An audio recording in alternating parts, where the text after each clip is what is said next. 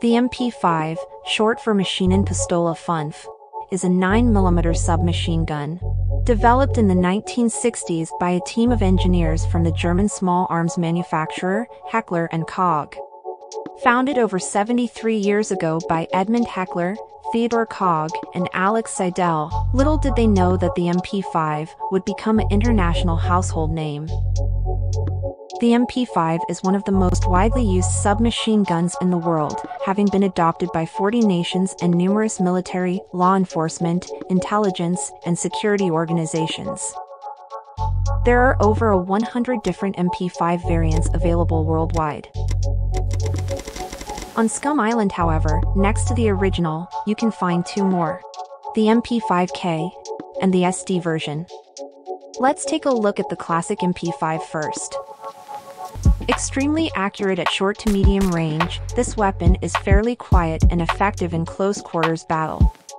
It comes equipped with the 013D trigger group, which allows for single fire, 3 round bursts, or full auto.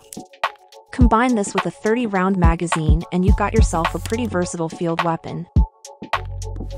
It has a sleek black design and with a weight of only 2.9 kilograms, it's easy to carry around.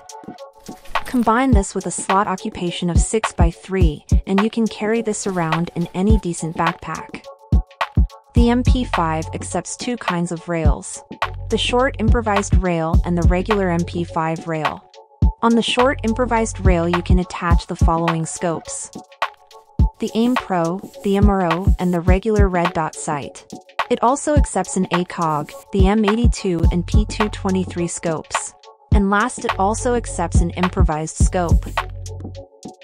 The official MP5 rail accepts the same scopes, with just a few differences.